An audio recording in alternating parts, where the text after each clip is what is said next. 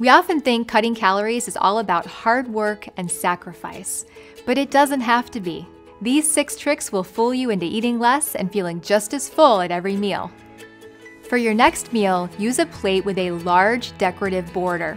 Researchers found a decorative pattern around the rim helps visually reduce the size of the plate. That may prompt you to serve yourself less food and fewer calories because people don't typically like serving food over the margin. Another trick eat from smaller plates. Downsizing from a 12 inch to a 10 inch plate can trick you into eating 20% less.